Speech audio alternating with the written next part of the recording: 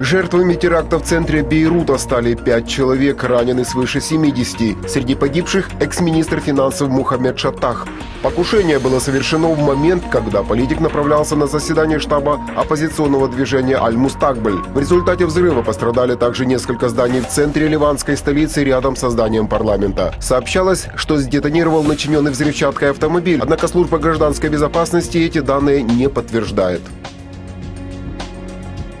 28 декабря в Иркутской области России объявлено днем траура в память о погибших при крушении грузового самолета Ан-12. На его борту находилось 9 человек, не выжил никто. Следствие приступило к изучению данных бортового самописца. Сейчас в качестве основных причин происшествия рассматриваются ошибка пилотирования, неисправность воздушного судна и неблагоприятные погодные условия. Власти окажут материальную помощь семьям погибших в размере 1 миллиона рублей. Разбившийся под Иркутском самолет Ан-12 был застрахован по каско воздушных судов на на 1 миллион долларов в русском страховом центре. Сегодня же на военно-мемориальном кладбище в подмосковных Мытищах первые лица России, обычные люди, провели в последний путь знаменитого оружейника Михаила Калашникова. Гроб накануне доставили спецрейсом из Ижевска, где за два дня с Михаилом Тимофеевичем простились более 60 тысяч человек.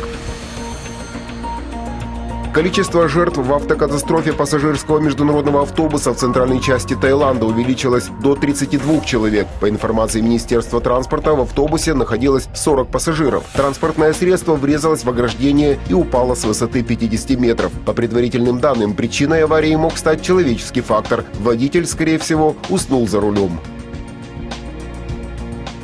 торговом центре в китайском городе Луджоу произошел пожар. Сообщается о четверых погибших, еще 35 человек пострадали. С огнем боролись 28 пожарных машин, однако справиться с возгоранием удалось лишь к утру. По данным свидетелей, перед пожаром в торговом центре был слышен мощный взрыв. Предположительно, произошла утечка газа на первом этаже здания. Взрыв также вызвал обрушение расположенной рядом автобусной станции. Повреждено несколько автобусов. Тем временем еще одно ЧП произошло в тот же день в другой части Китая, в провинции Хэбэй. Там обрушилось строящееся здание цементного завода. Под завалами оказались 12 человек. Как сообщили пожарные, обрушение произошло в результате того, что при заливке цемента не выдержали поддерживающие стальные трубы.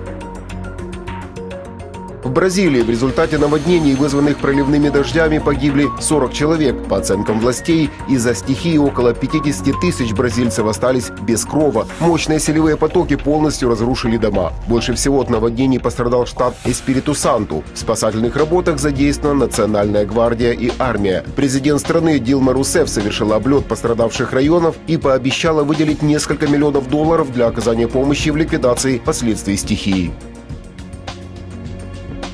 Администрация Бангкока обнародовала уточненные данные о численности пострадавших в ходе уличных столкновений в районе стадиона тайландской японской дружбы. Согласно этим сведениям, два человека погибли и еще 143 получили ранения. Среди раненых 25 полицейских, один страж порядка скончался от пулевого ранения в госпитале. Пока обстановка в районе стадиона, где избирательная комиссия завершает прием документов от желающих участвовать в парламентских выборах, относительно спокойная. Оппозиционеры покинули территорию и продолжают проводить многодневный митинг у резиденции, исполняющей обязанности премьер-министра Янглак Чиноват, которая, по их мнению, должна немедленно уйти в отставку.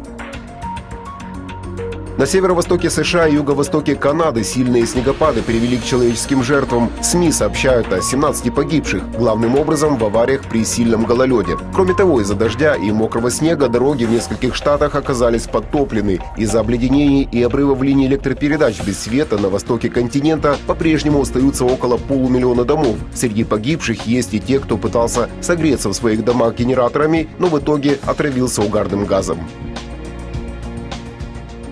Около 70 человек, в том числе 7 детей, пострадали от укусов пираньи на речном пляже аргентинского города Розарио в провинции Санта-Фе. Стайры плавали около берега реки Парана и нападали на тех, кто заходил в воду. По словам главы городской службы скорой помощи Федерико Корниера, у некоторых пострадавших откушены фаланги пальцев на руках и ногах. В эти рождественские дни в Аргентине стоит зной под 40 градусов, а пираньи становятся более агрессивными именно в жару. Городские пляжи закрыли, но из-за жаркой погоды многие отдыхающие, несмотря на опасность, вернулись к воде. В Афинах провели уже ставший традиционным рождественский обед для бездомных и нуждающихся. Такую акцию ежегодно проводит городской муниципалитет. Пришло рекордное число людей. По словам представителей администрации Афин, ситуация ежегодно ухудшается. Раньше раздавали 1200 порций еды в день, теперь 1400, но уже готовятся к тому, чтобы увеличить эту цифру до полутора тысяч. Рождественский обед помогает организовывать волонтеры благотворительных организаций. По данным муниципалитета, в этом году обед посетило более 700 человек. На сегодняшний день уровень жизни в Греции на 20% ниже, чем он был до кризиса.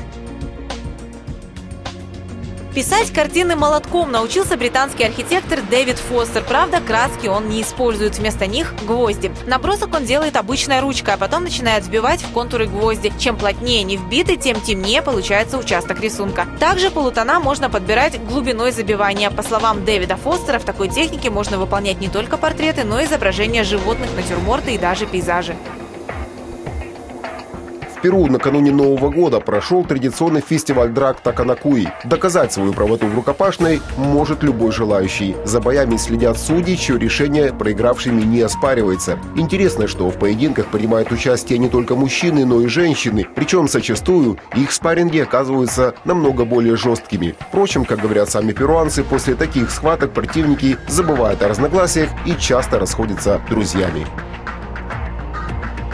На главной площади боливийского Ла-Паса установили 15-метровую елку из пластика. На создание такого искусственного деревца ушло не менее 50 тысяч пластиковых бутылок. Проект полностью экологический от ствола до верхушки дерева. Ведь даже электричество для звезды на елке производят люди. Украшение загорается, когда начинают крутить педали велосипедов, стоящих у пластикового чуда. Авторы идеи, работники горсовета, говорят, что хотели бы наглядно рассказать людям, что пластиковым бутылкам можно найти самое разнообразное применение. Смотрите каждый час обзор главных мировых новостей в программе «День за 100 секунд» на телеканале «Новая Одесса».